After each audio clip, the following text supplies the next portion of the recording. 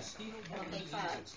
The Department of Health says five cases of the Eastern equine encephalitis have been What was confirmed Megan in getting? horses. Oh, no, you're Sixty-nine. getting some. Huh? Sixty-nine. Horses by a bite from a Eighteen, infected eighteen. mosquito. But so far, no human cases have been reported this year. In Volusia County, YMCA's are now offering free swimming and safety classes to everyone, even if you're not a member. Officials came up with the idea after two local children died last That month after falling into family swimming pools. The program is called Y Splash.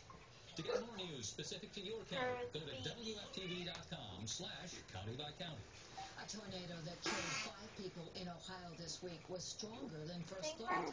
The you. National Weather Service says the twister was wider than three football fields with powerful winds as high as 175 miles an hour.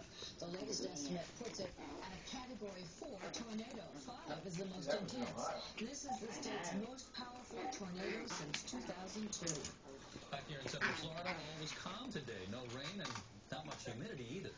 No, it's back, look this, too. Let's check in with Survey Chief Meteorologist Tom Terry and Severe Weather Center 9. We're going to turn up the heat knob here, unfortunately, the next few days. If you Maybe want I fit off more I stick can chew you. You don't have to go anywhere for it. We're going to import it. Right now, mostly fair skies and 87 degrees. The northeast breeze is helping us out today, uh, keeping temperatures from the mid-90s, and we even had a heat index yesterday of over 100 degrees in Orlando.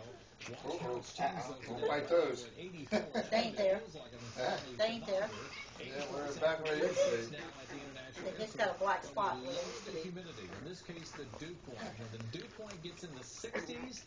That's pretty good for the summer. Listen that means her. it's drier outside, so we don't have nearly as much heat. Remember, I said it was about 100 yesterday. Now only 90. We were 102, or pardon me, 110 yesterday in Marion County. Now only 94.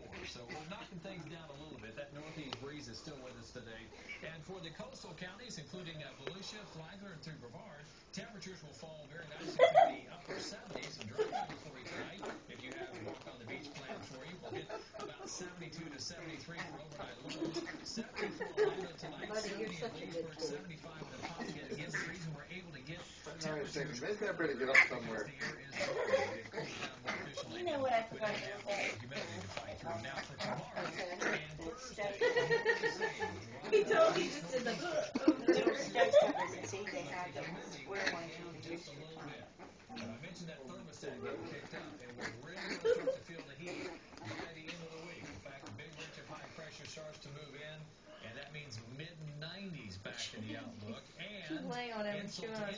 yeah, he was fighting her the tail. weekend, Another storm system is going to return. Whoops, chance for almost. rain, and that means our humidity is going to be back. So not uh, only She